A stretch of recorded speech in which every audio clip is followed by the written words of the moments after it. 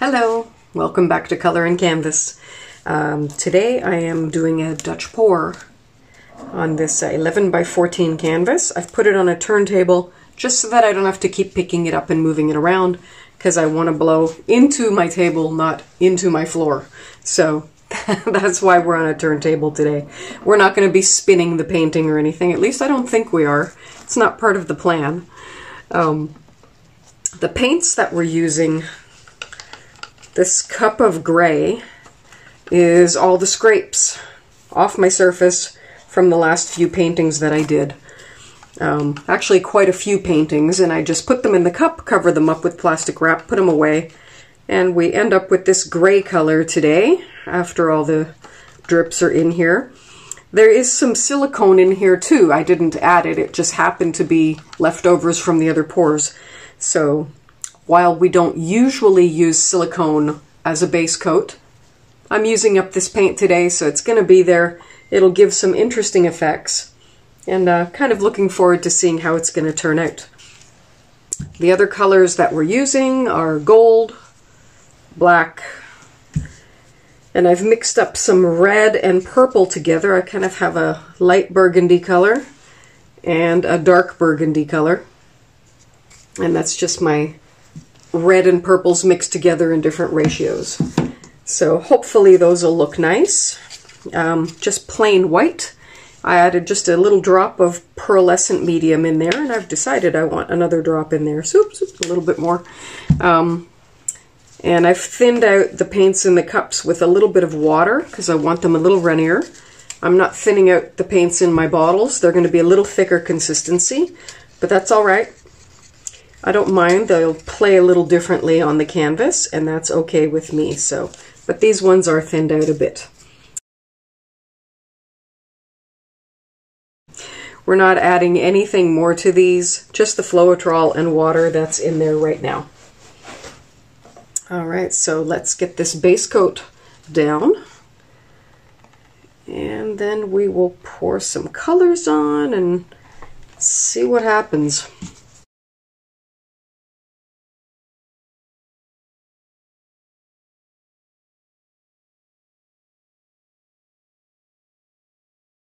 So uh, here we go. You can actually see where the silicone resisted a little bit, but we're adding paint now, so it's going to be okay. And I think I'm going to go... I did another one earlier that was just kind of like that, and I think we'll keep up that theme and just put our colors across that way. This color scheme was thought up by my neighbor, she saw me do a gray one earlier, and I was lamenting that gray is not my favorite color to work with, even though I have all this gray paint right now. And she recommended that I try using burgundy. And I said, hey, why not? It's a color combination that she really likes. And I said, hey, let's use it. Let's find out if we like it. It's a color combination I've never used. So burgundy and gold is what we're using today. And I need the black and white for that little bit of contrast, but burgundy and gold are going to be the main players. I will put down a bit more black.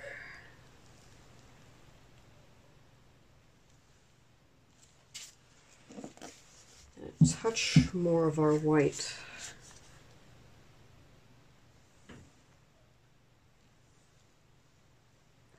Okay. And we'll kind of see, I'm going to go for a bit more of that red. Let the let that burgundy really come through. All right. Let's see what we see.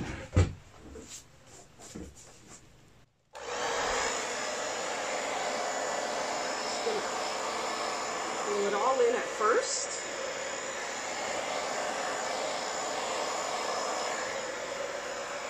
Give it a second and then we're going to blow it out.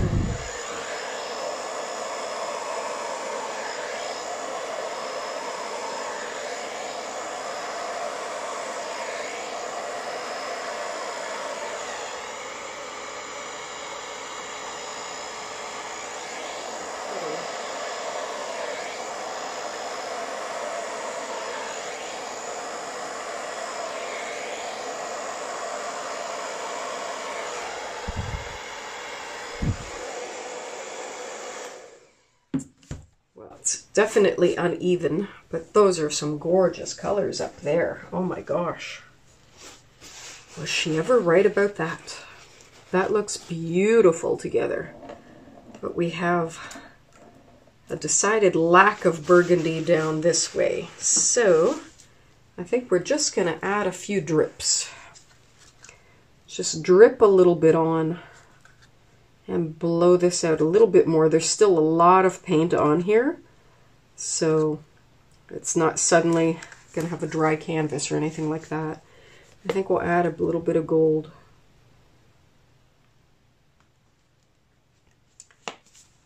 We'll add a little bit of all of our colors actually.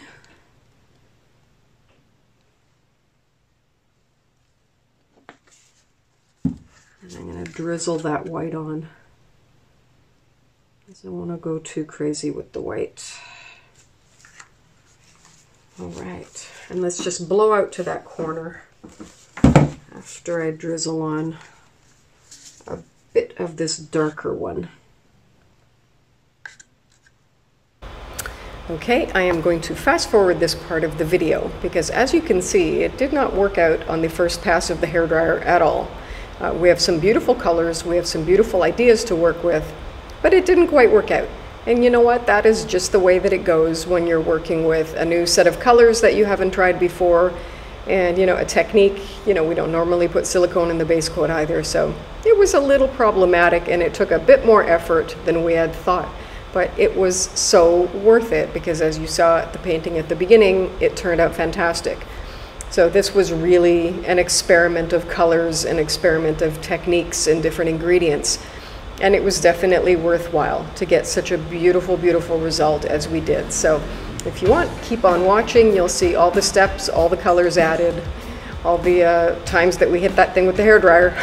but it worked. It turned out fantastic, and I'm really, really glad that I made the effort to do it.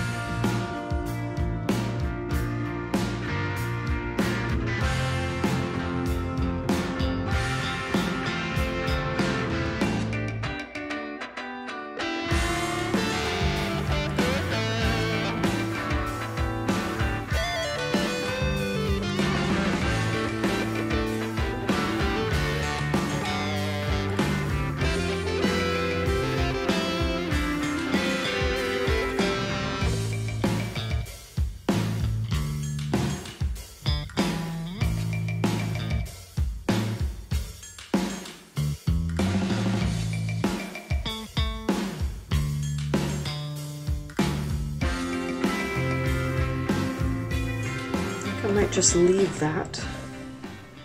It's colorful, it's bright, there's a lot going on. Let's see how these cells develop, but I think I like it better. Uh, I highly recommend you make use of your leftover paints. If you can use them to make something new, why not? Go for it. Um, for me, I'm not big on gray paint, and it's a good learning experience for me using a gray with different colors. So there we are. It was definitely worth doing. All right, thanks again, and uh, go paint yourself something beautiful and have a great day. Bye-bye.